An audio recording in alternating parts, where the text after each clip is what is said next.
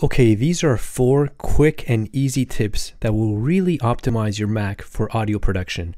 I use Cubase, but this will work for any pretty much any Mac and any DAW software that you use.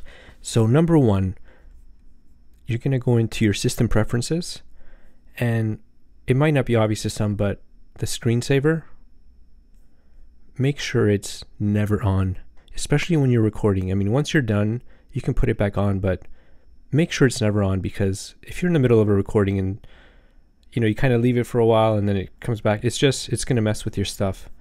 So the next thing you're going to go to is Spotlight.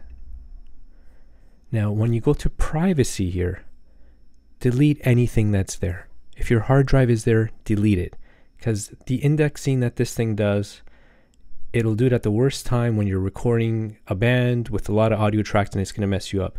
So get rid of that. Make sure there's nothing here. So had i had something there i would just select it and delete it. That's it. The next thing we're going to go to is energy saver any energy saver.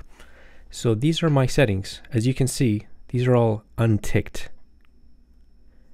And as far as battery, I have it set at like an hour and a half or put hard drives. Like that's just in case I forget. Because obviously I don't want everything running all the time.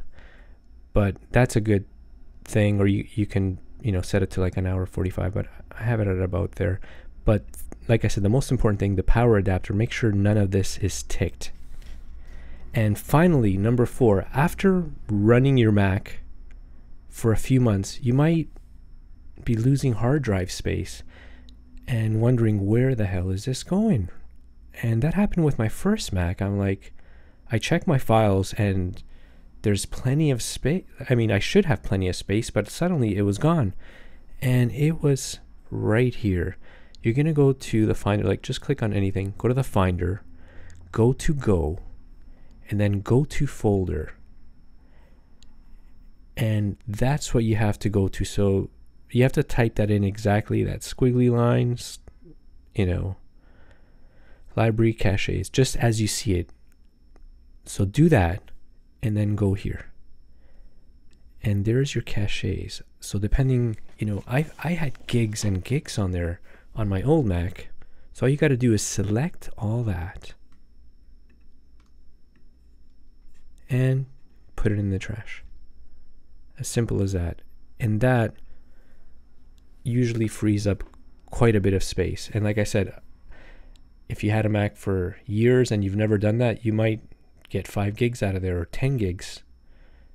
But I try to do this like at least once a month. So that's it. Hopefully that was helpful.